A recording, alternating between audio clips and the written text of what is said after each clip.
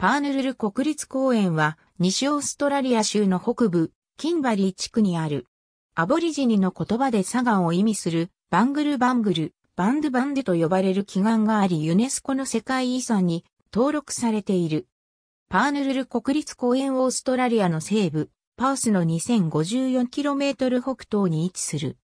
一番近い町は公園から見て北に位置するカナナラでノーザンハイウェイを利用しておおよそ 250km の距離にスプリングクリーク道があり、これを利用してのアクセスとなる。この道路の利用ができるのは、寒気のみで、また四輪駆動車も必要となる。この道を安全に通過した場合 51km の距離を3時間で走ることになる。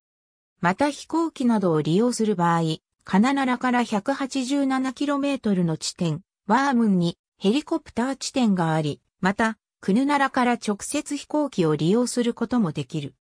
パーヌルルの名称は、キジャと呼ばれるアボリジニの民族集団の言葉で、バングルバングルの砂岩地帯に与えられた言葉である。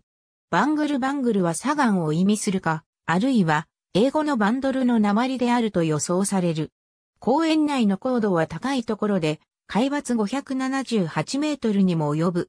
また砂岩によるドーム状の地形があり、このドームが褐色の縞模様をなしていることで有名である。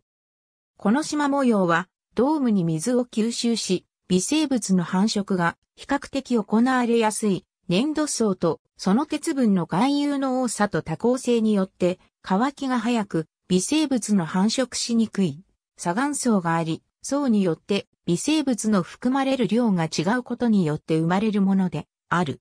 この他に類を見ないドーム状の岩石は先にも書いたように砂岩と大小の岩石がセメント状になったものでできている。